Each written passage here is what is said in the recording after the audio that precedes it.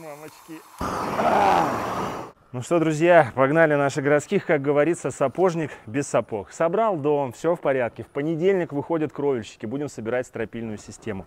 Очень хочется, пока нет дождей, защитить наши проемы гидроизоляцией, так как делают наши строители. Пробую, получается среднее. Для всего нужна сноровка, для всего нужен опыт, все нужно уметь делать. Вот я вроде приклеил, особо не приклеилась. Ну, хотя бы попробовал.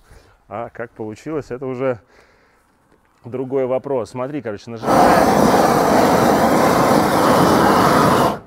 И аккуратненько прикладываешь.